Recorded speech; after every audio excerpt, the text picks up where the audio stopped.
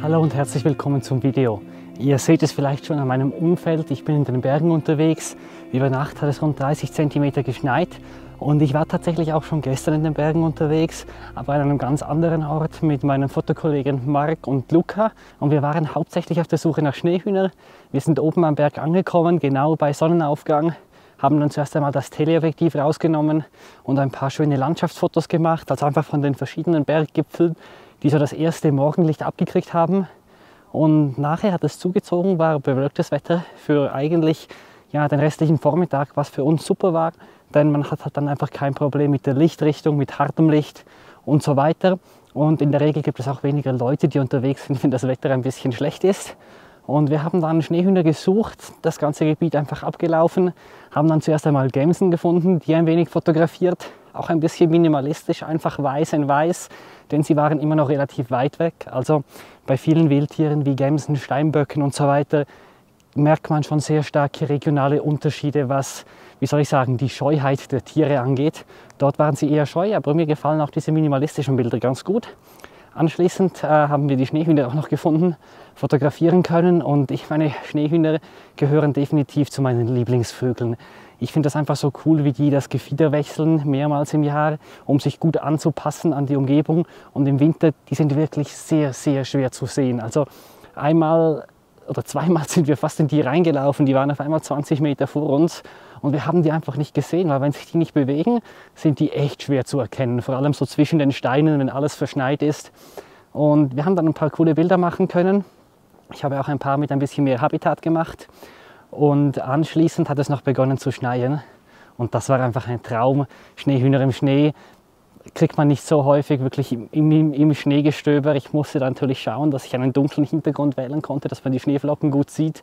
Und ja, war auf jeden Fall ein toller Tag. Mal schauen, ob meine Glückssträhne anhält und ich auch heute ein paar tolle Fotos machen kann. Wie gesagt, an einem ganz anderen Ort, diesmal ohne fotografische Begleitung.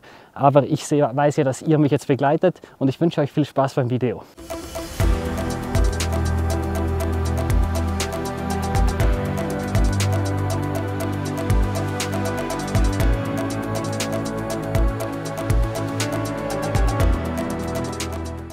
Ja, mein Zielmotiv heute ist definitiv größer als Schneehühner. Es sind Alpensteinböcke.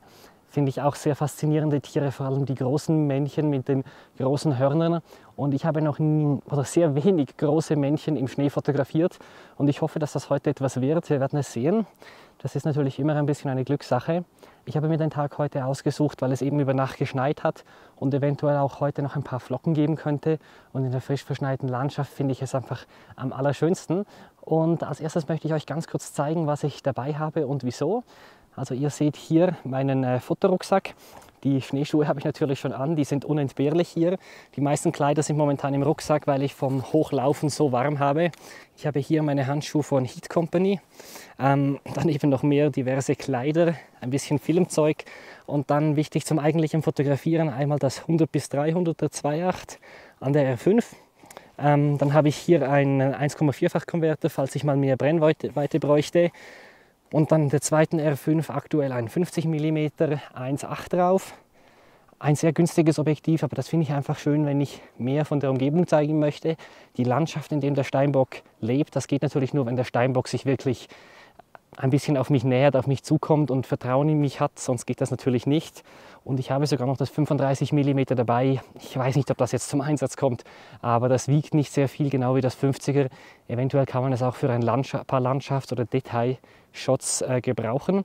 Und ja, als allererstes muss ich jetzt hier noch ein bisschen aufsteigen, denn ich bin noch im Wald und die Steinböcke sind meistens über der Waldgrenze. Im Winter kommen sie natürlich schon auch ein bisschen tiefer runter, aber ich werde jetzt definitiv noch einen Aufstieg vor mir haben und in der Zwischenzeit könnt ihr mal ein paar Videos und Fotos von gestern anschauen.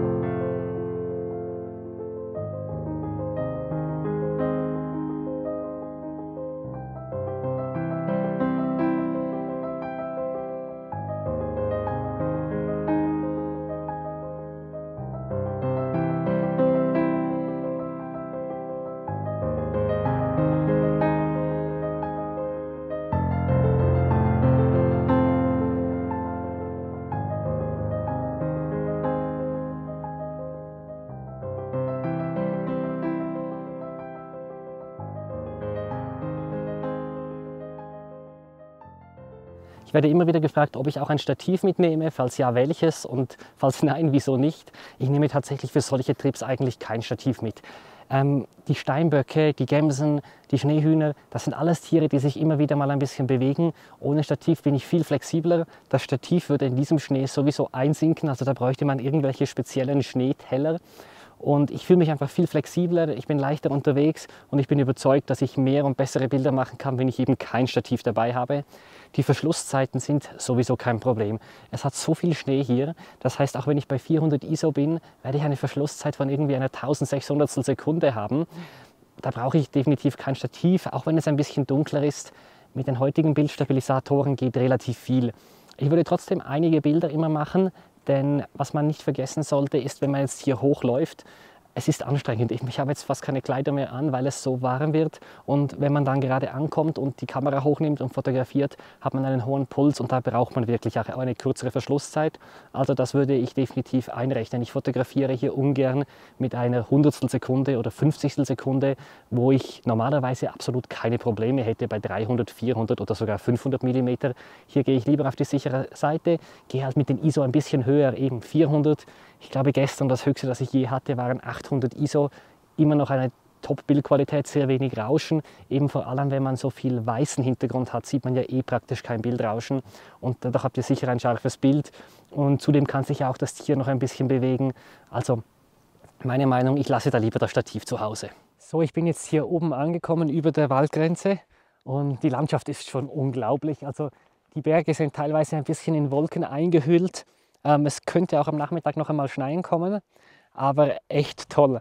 Wenn ich ungefähr im Gebiet angekommen bin, wo ich die Tiere erwarte oder vielleicht schon von weitem eines gesehen habe, dann nehme ich eigentlich dann mal meine Kamera raus, ähm, in der Regel einfach mit dem Teleobjektiv und damit ich einfach bereit bin ähm, und laufe dann mit der rum, sofern das Gelände nicht allzu anspruchsvoll ist.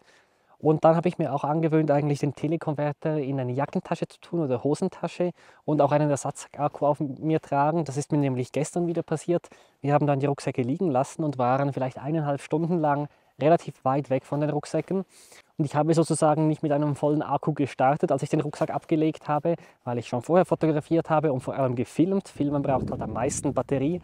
Das heißt, der Akku war dann auch irgendwann leer und ich war sehr froh, hatte ich einen Ersatzakku dabei. Natürlich habe ich mich auch über den Konverter gefreut in gewissen Situationen, wobei ich gestern versucht habe, nicht zu häufig Konverter zu wechseln, einfach weil es noch ein bisschen geschneit hat. Wenn ich die Kamera rausnehme, dann schaue ich mal, wie es mit der Belichtung aussieht und stelle da mal ein paar Einstellungen ein. Wenn es jetzt den ganzen Tag eh so bewölkt ist und relativ ähnliches Licht, dann finde ich wirklich die manuelle Belichtung am angenehmsten. Ihr stellt einmal ISO, Blende und Verschlusszeit ein und that's it. Ihr müsst das eigentlich dann für eine Stunde zum Beispiel nicht mehr ändern, was schon recht angenehm ist oder vielleicht eine ganz kleine Änderung machen. Wenn ihr lieber mit einem automatischen oder halbautomatischen Modus fotografiert, dann ist es relativ wichtig, hier eine starke positive Belichtungskorrektur zu nehmen, denn mit so viel Weiß wird die Kamera das Foto sonst komplett unterbelichten. Bis jetzt habe ich leider noch keine Steinböcke gesehen und hier oben sehe ich auch immer weniger Spuren. Ich bin daher nicht mehr so zuversichtlich, dass das noch etwas wird. Und ich bin jetzt schon 400 Höhenmeter hochgelaufen, wie gesagt, teilweise 30 bis jetzt am Schluss 40 Zentimeter Neuschnee ungefähr. Das war nicht ganz ohne, vor allem mit dem schweren Rucksack. Das heißt, ich werde jetzt nicht noch weiter hochlaufen, sondern das gut sein lassen. Ähm, ich habe mir daher überlegt, soll ich das Video überhaupt machen oder nicht. Aber ich denke, es zeigt ein bisschen die Realität. Ich habe gesagt, gestern war ein unglaublicher Tag mit Sonnenaufgang, äh, Gämsen und Schneehühnern, wo ich auch wirklich ein bisschen mit kürzerer Brennweite fotografieren wollte. Ähm, denn das habe ich mir für dieses Jahr allgemein ein bisschen vorgenommen, mehr mit kürzerer Brennweite fotografieren, mehr von der Umgebung zeigen.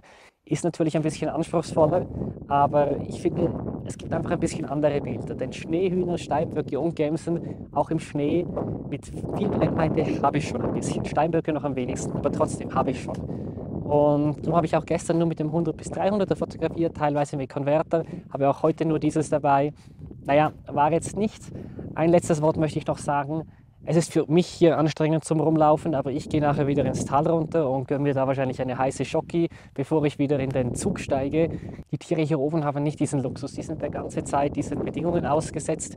Die müssen sich von ein bisschen Gras und vielleicht ein paar Zweigen ernähren und müssen wirklich Energie sparen. Und darum ist es mir auch wichtig, dass ich die Tiere möglichst wenig störe.